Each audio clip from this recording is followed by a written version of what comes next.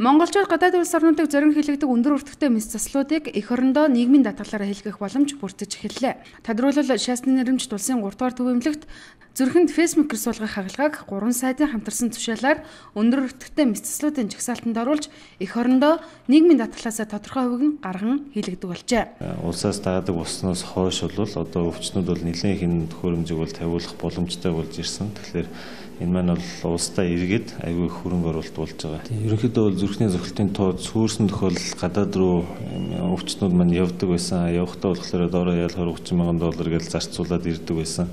А дээрээс нь тухайн хөрөмжийг суйрлуулсан өвчтөн маань бол жил болгон хянагдах хэрэгтэй байдаг. Тийм болохоор тухайн өвчтөн бол гадаад суулгасан тохиолдолд жил болгон ингэж гадаад руу явах шаардлагатай болдог байсан.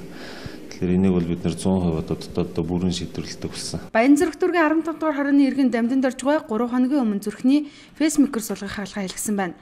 Тэрээр жихрийн шижин өвчнө улмаас зүрхний судсан нарийсаж хим алдагдан бүгд найрамдах Солонгос улсын асан амьлхийг зорж зүрхэндээ стенд сулгуулж ижээ. Өнгөрсөн жил түүний бие муудаж бүгд найрамд хятад ардсад очин зүрхний песмекер суулгах гэсэн боловч 50-аас 60 мянган ян өртөгтэй байсан байна.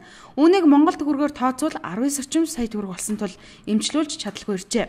Харин 2015 оноос эрүүл мэндийн спортын яам, хүн амын хүчил нийгэм хамгааллын яам хамтран иргэдэд нийгмийн татгалзаа тодорхой хувийг нь хөнгөлүүлэн эх орондоо эмчлүүлэх боломжийг нээж өгсөн тухай дамдын дорж байгаа тодтох хэллээ. Тэгээ зөвөр ал болсон. За хамгийн сайн талны хөлтөөсөг манай эмчлэр өөрсдөө тавьж байна чадвардаг тавьж байна. А хятадтай хөш барууны орны песмекерээр үйлчилж байна.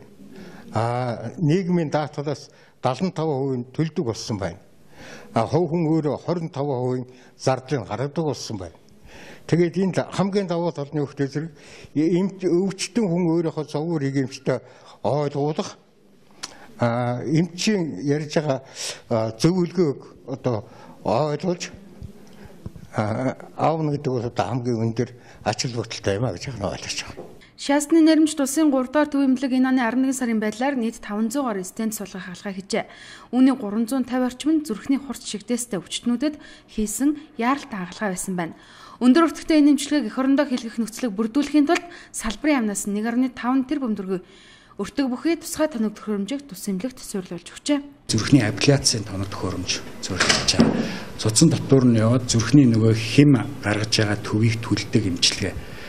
Сайдын гадаад имчилгээнд явж байгаа тушаалаар 50 орчим хувь нь бол тэр эмгэхээр явж байгаа. Тэр урсгалыг бол 16 хоног бол бүрэн таслах юм зорилго тавьж байгаа. Тэгээд 16 оноос бол бид нэр туршилтаар хийгээд 16 оны төгсгөлд бол нэлээ одоо олон тохиолдолтой. Тэгээд цаашдаа бол гадагшаа явуулах одоо урсгалыг зогсоо. Цаашид улсын 1 2 дугаар төв имлэг 3 дугаар төв имлэг их хүүхдийн эрүүл мэндийн үндэсний төв, гэмтэл согс судлалын үндэсний төв зэрэг имлгүүдээс өндөр өртөг бүхий тусламж үйлчилгээ авах хэрэгэд эрүүл мэндийн даатгалын өнгөлт эдэлнэ. Нийгмийн даатгалын сангийн энэ оны төсвийн тухай хуулиар угуулчлагаанд эрүүл мэндийн даатгалын сангаас 10.1 4 тэрбум төгрөг зарцуулах ёстой. Харин өндөр өртөгтэй мэс засалт хэрэглэгдэх 80 гаруй нэмсвэрлийн эмнэлгийн хэрэгсэл бортиц үнийн 75 хүртэлх хувийг эрүүл мэндийн даатгалын сангаас хариуцсан төлөх юм а.